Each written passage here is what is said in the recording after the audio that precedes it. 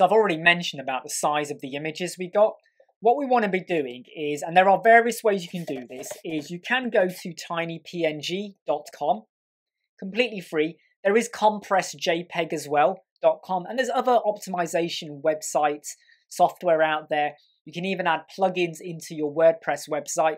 So when you add in a big image, it automatically compresses it.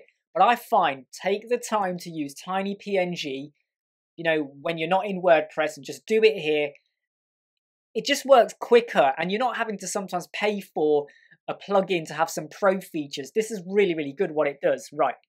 I'm just going to now add in my images. So we're going to go, and I'm only adding in the images that are big. I'm not going to add in the small light bulb images because they're already quite small. I'm worried I might make them so compressed you're going to lose the quality of it. So we're just going to add in these images here.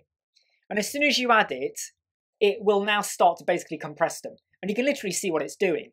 So that's now gone light down by 76%, 72, 41. Eh, I bet there's a bit more that can be shaved off that one there, web image 4. So in total, it's probably going to come to about 70% in total, I hope, when it's fully compressed. And when it's done that, we can download all those images, 68% compressed. So that makes a significant difference. We have not affected the quality massively. There'll be a tiny, tiny microscopic detail that might have been skimmed off, but believe me, you won't notice it with the naked eye. So I'm going to download that.